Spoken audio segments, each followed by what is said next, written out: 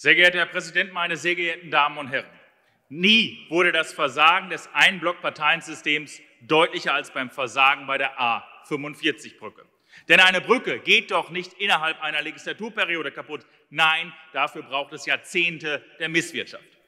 Und Sie alle hier, Sie alle hier haben die knappen Ressourcen, sei es die Knappheit von Bauingenieuren, von Planern, von Geld. Sie alle hier haben im Einheitsblock diese Ressourcen nicht sinnvoll für die Brücken eingesetzt. Nein, Sie haben sie im Kampf gegen das Wetter verschwendet. Denn die Bauingenieure, die Planer, der Sand und der Kies und auch das Geld werden von Ihnen durch Ihre massiven Subventionen, beispielsweise in den Bau von Windindustrieanlagen, gelenkt. 537 Brücken sind in NRW in einem solchen Zustand, dass diese neu gebaut werden müssen.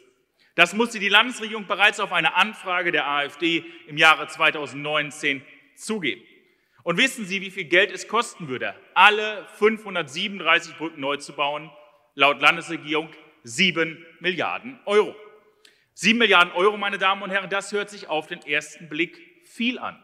Doch allein der Zubau aller Windindustrieanlagen seit Beginn der Legislaturperiode, also seit Mai 2017 bis heute, hat grob geschätzt 21 Milliarden Euro gekostet. Also das Dreifache.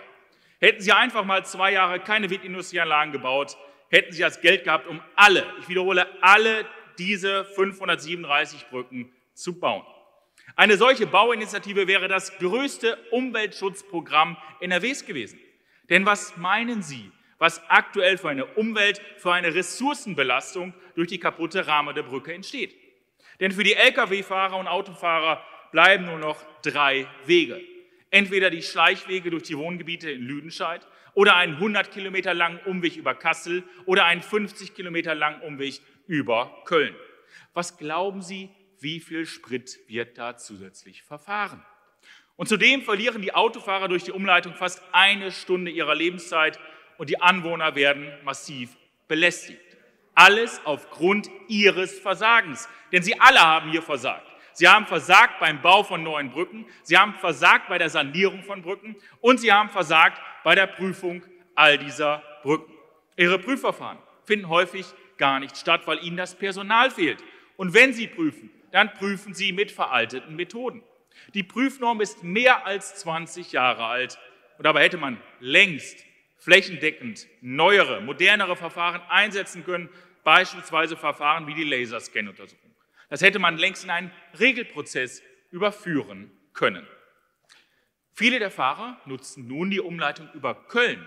Und das bedeutet, dass diese Fahrer dann über Brücken fahren, die in der Beurteilung bei der letzten Überprüfung noch schlechter abgeschnitten haben als die Rahmede-Brücke. Während die Rahmede-Brücke 2017 noch die Note 3,0 erhielt, waren die Noten für die Leverkusener Brücke und die Schwellmetallbrücke deutlich schlechter. Die Beurteilung dieser beiden Brücken lautet, ich zitiere, die Standsicherheit und oder Verkehrssicherheit sind erheblich beeinträchtigt oder nicht mehr gegeben. Was glauben Sie, wie lange wird die Schwellmetallbrücke die zusätzliche Belastung aus dem Umleitungsverkehr aushalten? Wenn nun diese Brücke auch noch vor dem Neubau ausfällt, wird das Chaos im Sauerland immer größer. Und wer weiß, wie lange der Neubau der Rahmen der Brücke tatsächlich dauern wird. Denn inzwischen wurde eine Haselmaus und eine Zweifarbfledermaus gefunden. Allein die Umsiedlung dieser Tierchen und die Umweltverträglichkeitsprüfung wird das Verfahren für ein oder gar zwei Jahre verzögern. Meine Damen und Herren, die Menschen wollen, dass sich endlich was ändert. Die Menschen wollen, dass die Brücken, inzwischen ist ja auch klar, dass alle 60 Brücken an der A45 neu gebaut werden müssen. Die Menschen wollen, dass diese Brücken schnellstmöglich gebaut werden. Doch sie alle hier lassen die Menschen hängen und kümmert sich lieber um breitere Radwege oder angeblich klimagerechte Wohnquartiere. Wir als AfD haben aber im Gegensatz dazu mit unserem Antrag aus Dezember 2019, also vor über zwei Jahren, wir haben damit gezeigt, dass wir bereit sind, neue Brücken zu bauen. Wer also möchte, dass wieder Fortschritt ins Land kommt, der kann dies nur mit der AfD bekommen. Für Freiheit, Wohlstand und Vernunft. Vielen Dank.